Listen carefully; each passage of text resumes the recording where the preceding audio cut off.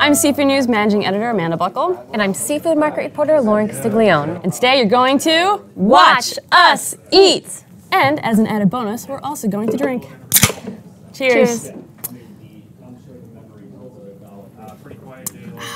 Tasty.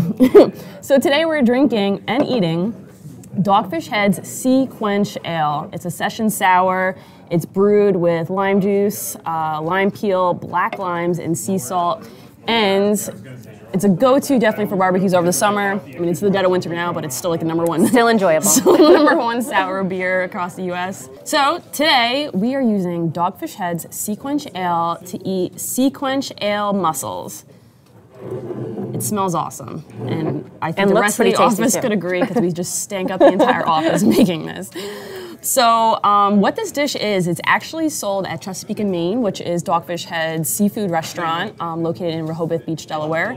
And their chef sent us over this recipe, and big fans of the beer, big fans of mussels, so we figured let's Perfect harmony. let's marry them. Yep. Let's do this. So, Lorin, All right, let's dive in. let's dive in. And the great thing about this dish is that we all know seafood has been on the rise, prices are up everywhere, but mussels are, in fact, they haven't been rising as quickly as other species um, just because the supply hasn't been so constrained. So it's a great recipe to take advantage of now. especially with uh, I mean this is uh, coming up right before uh, the Feast of Seven Fishes or Feast Yep. of Seven just Feast of, Feast of Fishes. What is it called? Feast of the Seven Fishes. Feast Feast Feast of the Seven Fishes. Um, so yeah, it's uh, since I it cost me an arm and a leg to buy crab meat the other day. So Right, you I'm- gotta get the I'm broth. more- oh, okay. Gotta get, gotta get the juice in there. So this is made with, and we're gonna have the recipe actually in our upcoming issue of Urner Barry's Reporter. Sorry, I dove in too fast. I couldn't wait. Wow, that's fantastic. Yeah, that's I'm usually more of a clams gal. That's really good. That broth. Um, yeah, so this calls for Maine mussels, uh, Chesapeake and Maine. Um, the founder of Dogfish Head is uh, a big fan of Maine. His family had a house um, up there over the summer, and then his wife is actually from the, the Chesapeake Bay, uh, Bay Area, which is why you get this name. Um, so that's why they call for Maine mussels. We don't have that around us right now, so we went with PEI mussels.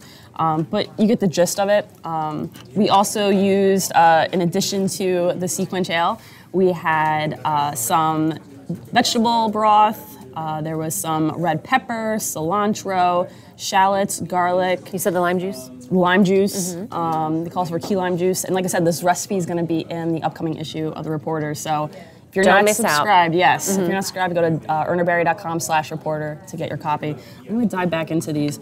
So what's good about this is that you get like the extra like salt from here. Like it's just like you get the lime, that the extra lime juice that's in here, and then the lime from the beer. Right. Yeah, it, it marries really well. Um, and making this recipe, it was super easy. Usually Mm. seafood dishes are a little intimidating, but this, I mean, prep time was what? 15, 20 minutes? Lorin's saying that because she didn't help at all.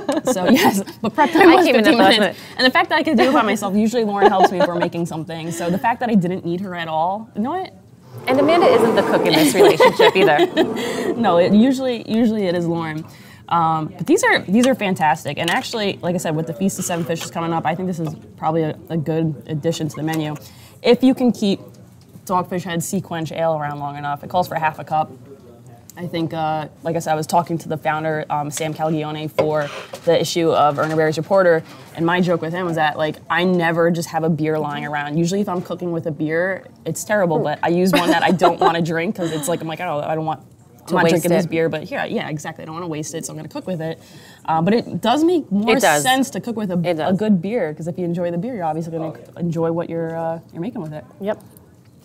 Thanks for watching us eat, and uh, hopefully we'll be back here watching us eat some more stuff. Cheers. Cheers.